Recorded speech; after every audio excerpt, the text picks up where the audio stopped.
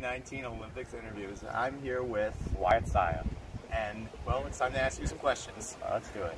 All right, so this since you're a recruit here the first time, like, what do you think of the whole process? How do you feel about it? Like, the sorting the teams and getting the practices. How do you feel about all that? I like how official it is. You know, uh, I actually think like getting all these teams and have a ceremony and all that. So it's great, great to be a part of it.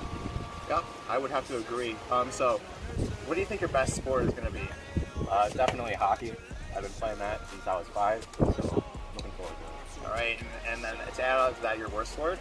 Worst sport is going to be basketball, but I uh, I got some. Yeah, yeah, that's it sounds about right. All right, so how do you feel about your teammates? Like, not like their athletic capabilities, but how do you feel about them personally? Um, you know, I'm, it's kind of odd being on Team India, seeing as how I'm white, but you know, it's pretty good. I'm, I'm glad to be a part of it. Uh, I like them both, so yeah, we're gonna do well. Yeah, Rayhan's a pretty tall boy. Yeah.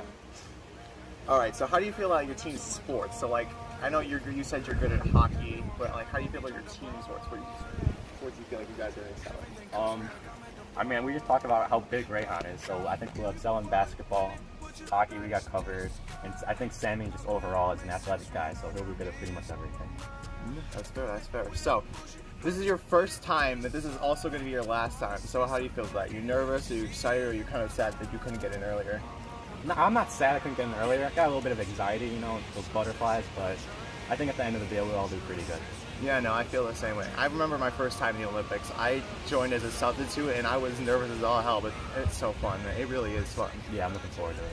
All right, well, that's all the questions I got. So, All right, thank you. of course.